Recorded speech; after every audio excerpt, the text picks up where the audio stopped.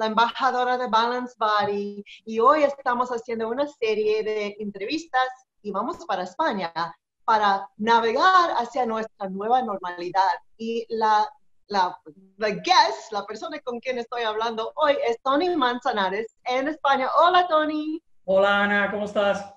Todo bien. Dinos un poco de ti, que no te conozco bien.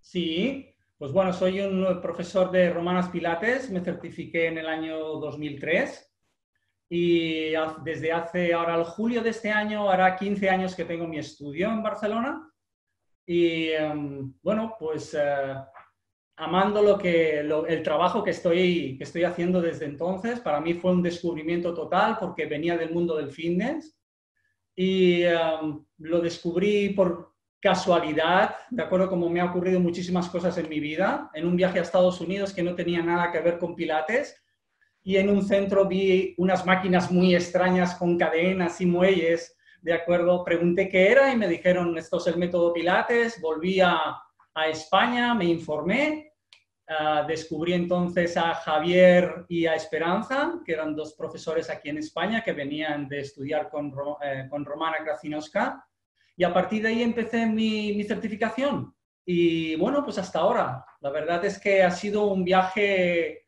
fantástico y maravilloso que me ha permitido pues, conocer Estados Unidos, conocer a grandes profesores, como Janis Dula, como Romana, como, eh, como Daria, como Shari, como Moses, eh, Anthony Ravara, Lori Coleman Brown, muchísima gente maravillosa, con un alma eh, preciosa y grandiosos profesores. Para mí tengo el privilegio de poder vivir de, una profesión que me encanta, una profesión que nos permite ayudar a la gente ya no tanto a nivel físico, que es maravilloso, sino también a nivel espiritual, ¿de acuerdo? Y a nivel de poderte conectar con uno mismo, que para mí es una de las cosas más maravillosas que nos puede ofrecer. Wow, gracias. Ok, entonces yo quiero saber qué estás haciendo tú personalmente para navegar esta época tan rara que estamos viviendo ahora. Pues, Ana, lo que estoy haciendo es lo que suelo hacer normalmente, que es vivir el momento presente. Y hace ocho o nueve años mi vida dio un giro completo, toqué fondo a nivel emocional, ¿de acuerdo? Y empecé a cuestionarme muchísimas cosas en mi vida. Empecé a preguntarme por qué pensaba de la manera que pensaba, por qué sufría al pensar estos pensamientos. Y empecé a indagar, a autoindagar en mí mismo. Y eso me llevó a empezar a descubrir un montón de cosas que luego las he ido aplicando en mi vida. Empezó a, mi vida empezó a, cambiar porque empecé a ver la vida de otra manera. Y una de las cosas que me permitió ah, ver cambiar también es el método Pilates. Para mí es una herramienta inventada por un genio, ¿de acuerdo? Pero es una herramienta increíble para ser consciente del momento presente. Y siempre les digo a, mis, a, los clientes que vienen al estudio, a las personas que vienen al estudio, que realmente Pilates es una meditación en movimiento. Yo lo veo así realmente, porque cuando tú meditas buscas una unión entre el cuerpo, la mente y el alma, y eso es lo que realmente produce Pilates. Por lo menos yo lo veo desde ese, desde ese punto de vista. Empecé practicando Pilates al principio sin entender mucho lo que estaba haciendo porque yo venía del mundo del soccer, del fútbol, y era como utilizar muchísimo toda la musculatura exterior, sin ningún control, sin ninguna globalidad en el movimiento. Y Pilates me reinventó completamente, me empezó a, a, ayudarme a empezar a mirar desde dentro hacia afuera, ¿de acuerdo?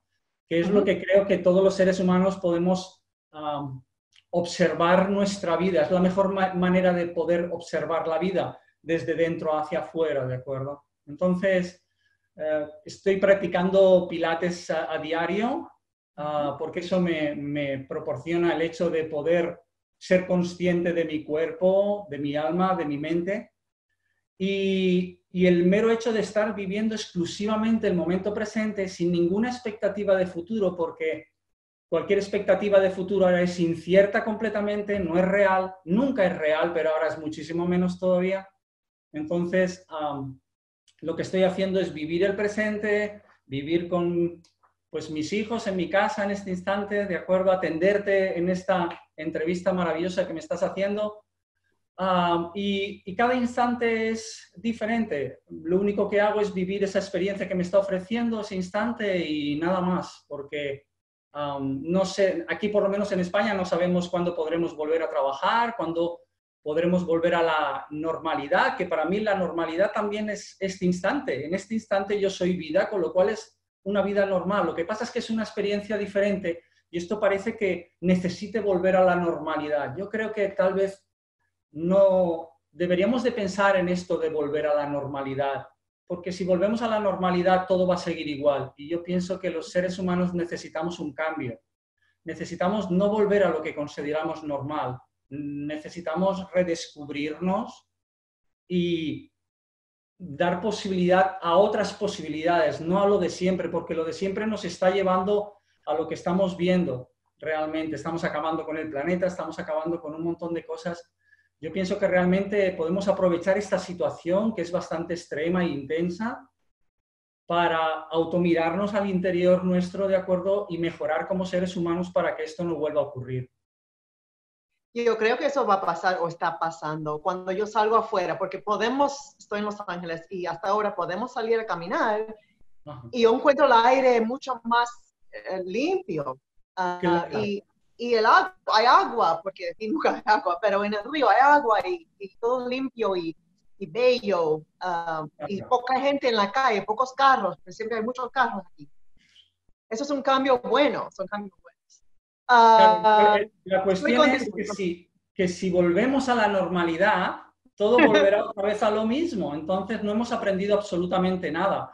Aquí en Barcelona, de donde yo vivo, ah, tengo una terraza, yo vivo en una casa y me permite el lujo de poder estar sentado al aire libre, ¿de acuerdo? Y entonces veo como hay muchísimos más pájaros de lo normal, que cantan muchísimo más los pájaros, el ambiente que hay, porque aquí en Barcelona hay una polución bastante grande, está muchísimo más limpio el cielo, está, hay una limpieza en el ambiente, los pájaros cantan muchísimo más, es, es, algo lindo, pero si no aprendemos de esa situación, si no intentamos mantener realmente esta situación, volverá todo a, la normalidad que está buscando todo el mundo. Normal de antes, sí.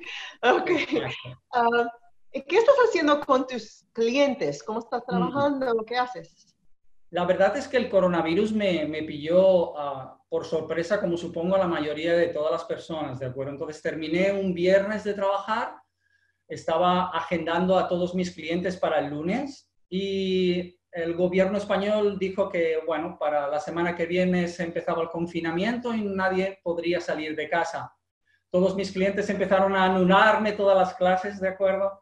Y, y la verdad es que los primeros días eh, estaba como a la expectativa, quería realmente sentir que tenía que hacer porque no, no, estaba perdido completamente. Lo que sí que sabía es que ah, tenía cerrado mi estudio, no iba a poder generar ningún tipo de dinero, ¿de acuerdo? Y en mi casa soy la única persona que aporta el dinero para mantener a mis hijos y mi casa. Entonces, unos, una pareja que tengo de clientes en el estudio me enviaron un mensaje y me dijeron, eh, Tony, eh, ¿te interesaría hacernos una clase online? Yo ni me había pasado por la cabeza, llevábamos solo dos o tres días, no me había pasado por la cabeza, Ana. Y, y entonces, no, yo no, vengo de una generación que esto de el Zoom y todas estas cosas, como que me viene un poco grande, y entonces tuve que hablar con mi hija que tiene 19 años y me dijo, sí, papá, yo te lo hago y tal y cual, y entonces di, les di una clase online a ellos dos y a partir de ahí dije, wow, voy a exponer esto y por WhatsApp pasé un mensaje a todos mis clientes y bueno, de todos los clientes, pues eh, un 25, un 30% sí que se han apuntado, ¿de acuerdo?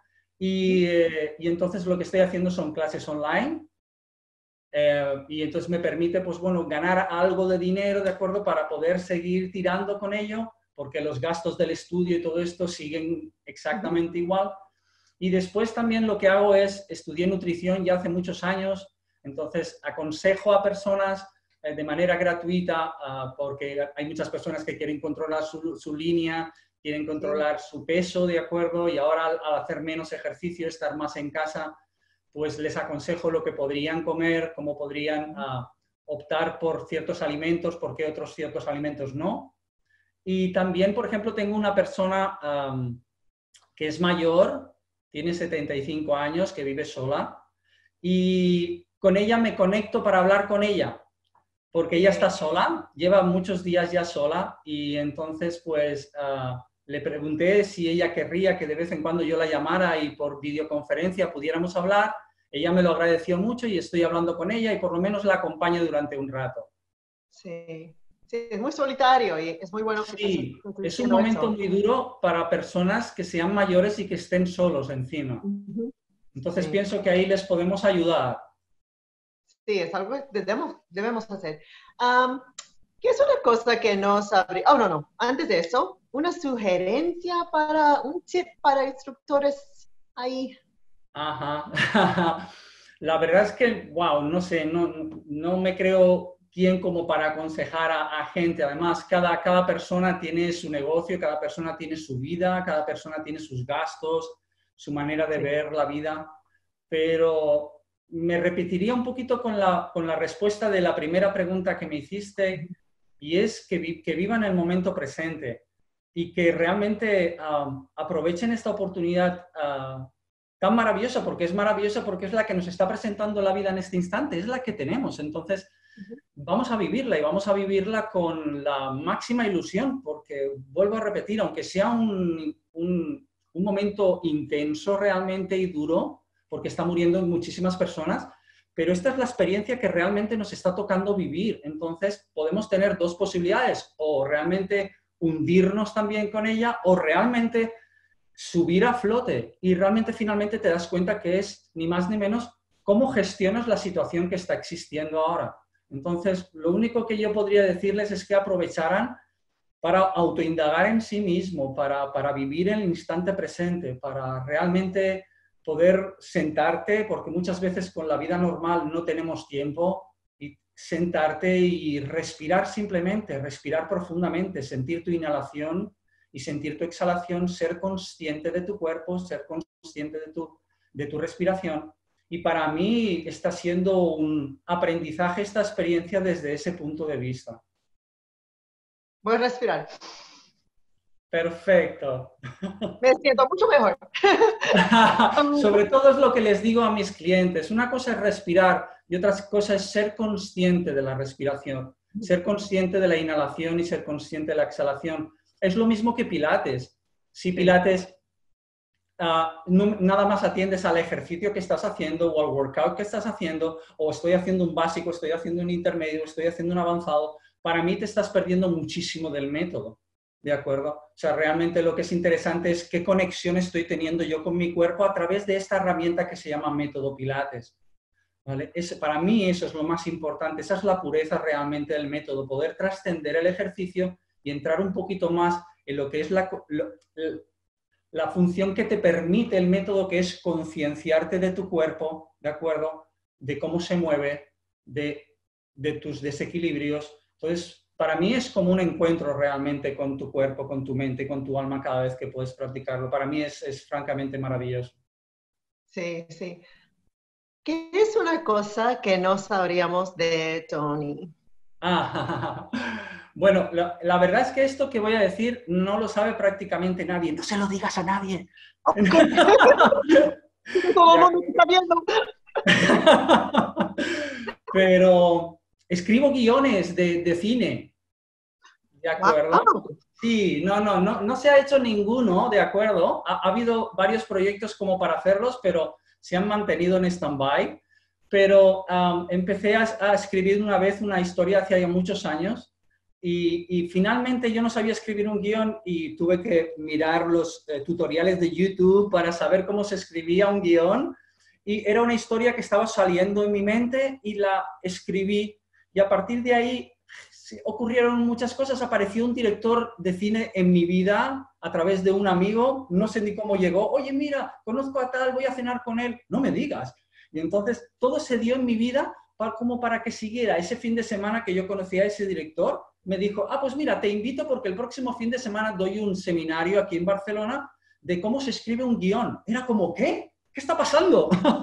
y entonces fui allí, aprendí a cómo escribir los guiones y desde entonces, ya hará varios años, he escrito 10 guiones de, cine, ¿de acuerdo? Sí, sí, sí. Y es una cosa que me... Sí, es, es una cosa que me satisface muchísimo porque es como si me, de vez en cuando aparece, puedo pasar meses sin hacer nada y de repente aparece una idea y, ostras, es como un poder creativo que aparece en tu mente y me lo paso maravilloso si dura unas semanas o unos meses el poder escribir esa historia y, y realmente me llena muchísimo. Me lo paso muy bien. Qué chévere, qué chévere. Me encantan las cosas creativas. Qué bueno. ¿Tú puedes compartir algo divertido para terminar esto, para ah, terminar la entrevista? Voy a, voy a decirte otra, otra primicia, que no se entere nadie, Ana, ¿vale? Ok. estoy aquí, aquí a mi lado está un ser que lleva 14 años conmigo practicando pilates, ¿de acuerdo? Y te la, voy, te la voy a mostrar ahora, ¿vale? Pero tiene, es muy mayor ya. Ok.